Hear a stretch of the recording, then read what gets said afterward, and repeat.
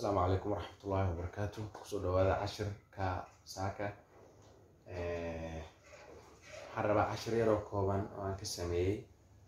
Soomaaliya maanta wadciga ka taagan. Overview iyo ereyada macquulka ah ee xaaladan oo kale la adeegsan karo.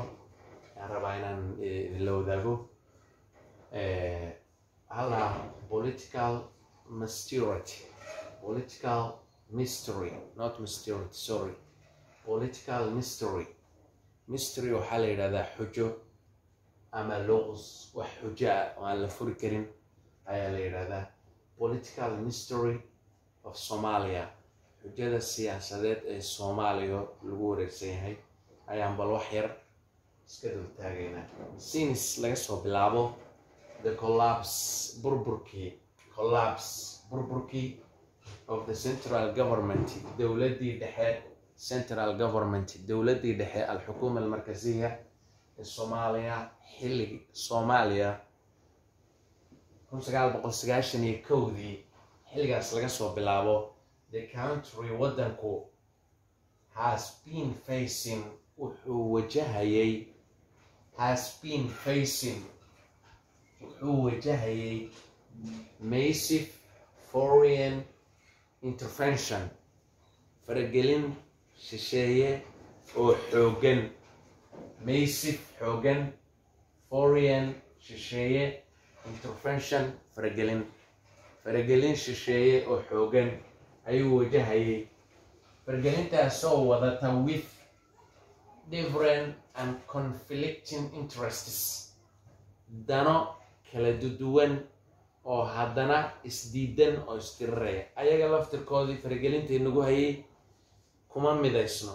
Ku walba dantiisa gaarka u wataa danahaasuna way isdirirayaan marka way isku hayaan ayaga laftirkoodii conflicting interests. Dana isdiidan isdiriraayo iska hor imaanayo oo different ah oo kala duwan.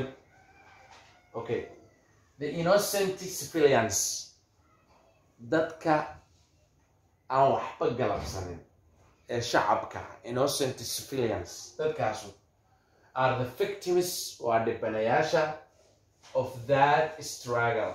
Loolankaas loolan struggle waa loolan okay? Loolankaas ay dadkaas shisheeye waddanka isku haya is hayaan dhibanaha victims dhibanayaashu of that struggle waa innocent civilians dadkaas this situation xaaladda noocan oo kale ah isnown waxaa loo yaqaanaa as a proxy war. Dagaal wakaalasho. Alxarbu bilwakaala xaaladdu markay saa tahay oy dad shisheeye waddanka isku hayaan oo dadkan isdiriraya sida soomaalida oo kale oo mid kasta qolo kasta wakiil qolo shisheeye wakiil ka yahay lacagna ka qaadanayo. Dagaalka noocaas waxaa loo yaqaanaa proxy war. Waa dagaal dhib badan inuu dhammaadana way adag tahay sababtoo ah waxaa go'aaminaya dhammaadkiisa dadka kale ee kor ka ciyaaraya laakiin kuwan ma go'aamin karaan waa xaaba dab lagu shubay oo kale ayo proxy war baa loo yaqaanaa dagaalka noocana the solution marka xalku dagaalka noocaana is not at the handis of the somalis. Soomaalida gacantooda kuma jiro.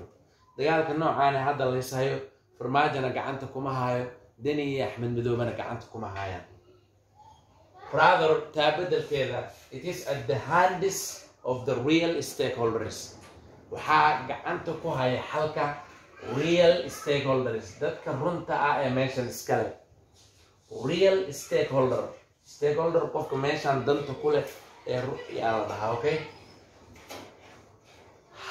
Maxay tahay marka meeshan dad waxaa jira la dhaho xataa somali stakeholders.